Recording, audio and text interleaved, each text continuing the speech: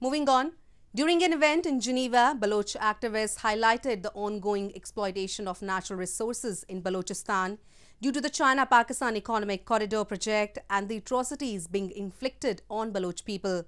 They said CPEC is an illegal project as Balochistan is under Pakistan's illegal occupation.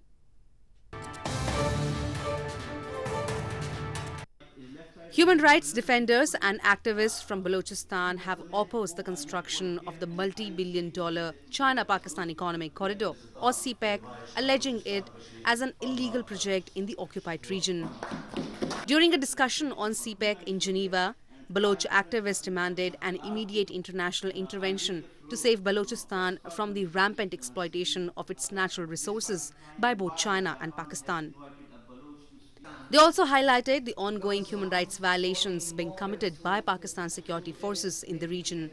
So, what this project is going to give us to the people yes, the government has tactfully, you know, succeeded in uh, from the, in the past more than 10 years to you know keeping hide the details of this project. No one knows, even a parliamentary member, none till date does not know that what are what are the designs, what are the projects, and what's going to be uh, done to the whole region. The people are fear.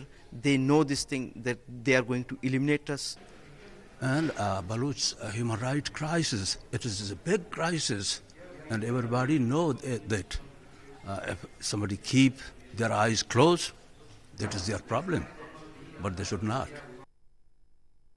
Gwadar, a strategic port in Balochistan, is being developed as a part of the CPEC project, which activists have blamed has been stripping away the region from its natural resources. Activists blame that CPEC has only brought death and destruction for the local people instead of economic opportunities and accuse that Pakistani security forces have been given a free hand to eliminate voices against the illegal project.